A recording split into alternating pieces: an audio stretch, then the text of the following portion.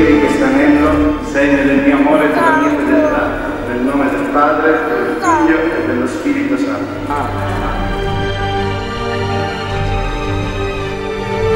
Giuliano riceve questo anello, segno del mio amore e della mia fedeltà, nel nome del Padre, del